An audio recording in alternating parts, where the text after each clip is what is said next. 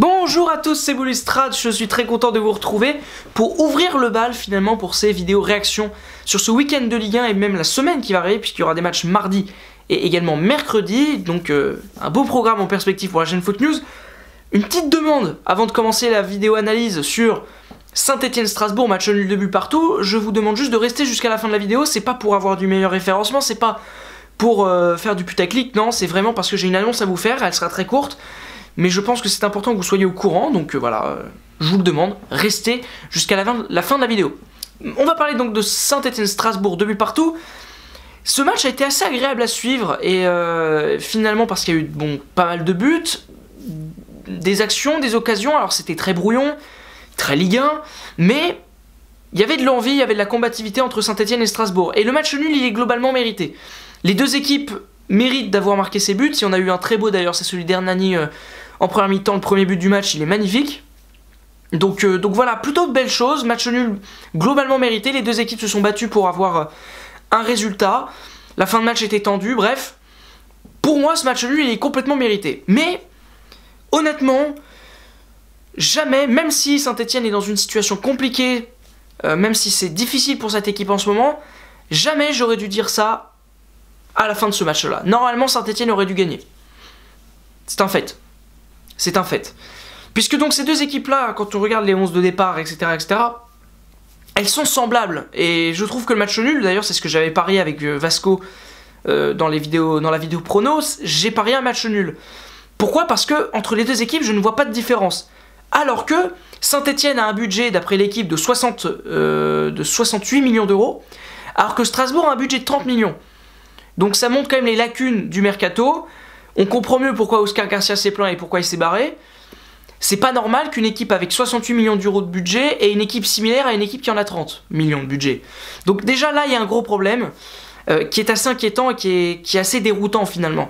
Surtout quand tu sais que tes meilleurs joueurs c'est Ruffier et Perrin, ça peut pas aider, je veux dire, quand t'as pas un joueur offensif qui, met, un pied devant l'autre, quand t'as as recrue la plus chère de l'histoire c'est Diony, il y a un truc qui va pas. Il y a vraiment un truc qui va pas.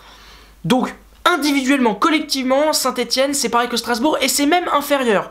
Parce que j'ai trouvé Strasbourg sur, sur certaines séquences de jeu vraiment intéressant, et avec des mouvements, avec des passes. Euh, le, premier but qu'ils mettent d'ailleurs est assez beau, je trouve, parce que même si c'est après un coup de pied arrêté, même si c'est une action un peu brouillonne sur la fin, il y a une passe dans l'intervalle qui a été faite par Jonas Martin, il me semble, mais jamais je l'ai vu avec Saint-Etienne. Jamais je vois ce genre de passe. C'est pas normal. Donc pour moi, il y a même plus de qualité à la limite du côté de Strasbourg que du côté de Saint-Etienne. Mais parce que Christophe Galtier était là et Christophe Galtier avait trouvé le moyen pour, pour compenser ses, erreurs et ce manque de qualité, c'était le mental, la combativité. Et Saint-Etienne, ces dernières saisons, était réputé pour être un club qui n'avait pas beaucoup de qualité. Euh, voilà, ils avaient Brandao en pointe, pour, pour vous montrer un petit peu. Mais ils se battaient, ils se détruisaient sur le terrain, et surtout mentalement ils étaient solides. C'est-à-dire qu'ils faisaient très peu d'erreurs et ils arrivaient à garder les scores. Là, ils se sont fait rejoindre deux fois au score. Mentalement, je les ai pas trouvés super solides et c'est ça qui m'inquiète. C'est que la mentalité stéphanoise, elle, est, elle a disparu. Elle a complètement disparu. C'est-à-dire que Oscar Garcia aurait dû euh, amener du jeu à Saint-Etienne tout en gardant le caractère. Et il n'a pas réussi à créer du jeu tout en enlevant le caractère de Saint-Etienne. Donc ça fait qu'on arrive à un statut un peu compliqué et là ça devient vraiment difficile pour moi d'être optimiste pour Saint-Etienne. Ce match était à prendre, ce match ça devait faire 3 points, ça ne les a pas fait.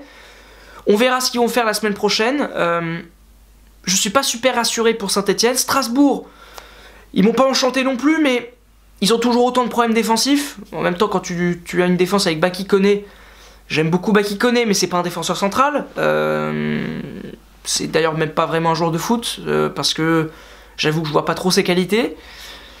C'est compliqué pour Strasbourg en défense, mais offensivement, ils ont quelque chose. Quoi. Ils ont des joueurs, un Terrier, un Liénard. Euh, ils ont quelque chose. Et, ça fait plaisir de voir cette équipe-là. Et je suis très confiant pour leur maintien en Ligue 2. Vraiment, surtout après une performance comme ça. Sur une pelouse qui est difficile, parce que malgré tout, euh, j'ai beaucoup critiqué Saint-Etienne, mais c'est jamais évident d'aller chercher un point à Geoffroy Guichard. Ils l'ont fait. Donc bravo Strasbourgeois et les Stéphanois doivent bosser. J'ai beaucoup critiqué, mais je laisse euh, effectivement le temps euh, au nouveau tandem de la Ligue 1, donc euh, Julien Sablé et Jean-Louis Gasset. Je leur laisse le temps de travailler. J'espère qu'ils vont faire du bon boulot parce que Saint-Etienne mérite d'avoir une équipe forte. Mais pour l'instant, ça n'est pas bon du tout. Donc, il fallait que je m'exprime là-dessus. La vidéo est terminée. Voilà, la vidéo est terminée. Mais avant de terminer cette vidéo, petite annonce. Si vous suivez la chaîne YouTube depuis longtemps, vous savez que l'un des tout premiers concepts, voire le premier concept qui est arrivé sur la chaîne, c'était les foot-foot. Euh, parce que mon envie, quand j'ai lancé la chaîne, j'étais à la base tout seul à la lancer, Vasco m'a rejoint plus tard, c'était de créer quelque chose qui parlait évidemment de football, mais de manière un peu drôle, de manière un peu décalée, un peu tranquille, un peu posée. Ce qui remplissait parfaitement la catégorie des foot-foot.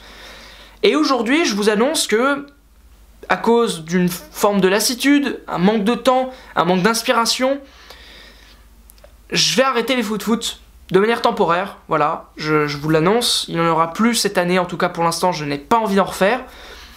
Parce que justement le côté décalé et tout, qui n'y avait pas vraiment l'année dernière quand on a lancé les foot-foot, là on l'a retrouvé avec euh, donc les vidéos réactions où voilà, je suis un peu détendu, je suis un peu calme, un peu tranquille, euh, les vidéos grosses émissions où on se marre avec Vasco en parlant foot, et les vidéos prono où on se marre beaucoup, d'ailleurs regardez la dernière vidéo où j'ai souffert, euh, voilà, c'est un cadeau comme ça. Allez la regarder, c'est super. Où on fait des pronos, on se marre, on parle foot. Donc je vois plus forcément l'intérêt de faire des foot-foot, donc voilà, euh, ce concept est terminé. Et donc euh, je voulais vous l'annoncer, même si je sais que vu, les, vu le nombre de vues, beaucoup de gens s'en foutaient, finalement, des foot-foot. Bah, je peux vous annoncer, je, préfère vous le dire et je préfère quand même être sûr que vous le sachiez. Parce que je pense que vous méritez d'être au courant, vous êtes mes abonnés, vous êtes des gens qui regardent mes vidéos, donc forcément, je pense que vous devez connaître un petit peu ce qui se passe derrière euh, la caméra, mais pas forcément derrière au niveau visible, au niveau invisible. Voilà, merci beaucoup d'avoir regardé cette vidéo. Si vous avez apprécié ça, likez, partagez, commentez. Vous pouvez également vous abonner à la chaîne. Vous pouvez appuyer sur la petite cloche, c'est important pour être au courant de toutes les sorties de vidéos. Allez checker Facebook et Twitter. Je vous annonce donc qu'il va y avoir, oh la vache, j'ai eu un problème de respiration, qu'il va y avoir des vidéos réactions tout ce week-end par rapport au match de Ligue 1. Euh, avec notamment le ASM PSG qu'on attend tous avec impatience, ce sera Vasco qui vous fera une vidéo dessus normalement. Et puis aussi que dimanche, normalement, un article que j'ai écrit devrait sortir sur le site laprolongue.fr. Donc allez checker, je vous mettrai le lien dans la description, laprolongue.fr, un article sur l'Olympique de Marseille devrait sortir. Et un petit bilan de l'ère McCourt. Voilà, merci beaucoup, à bientôt sur la chaîne Foot News.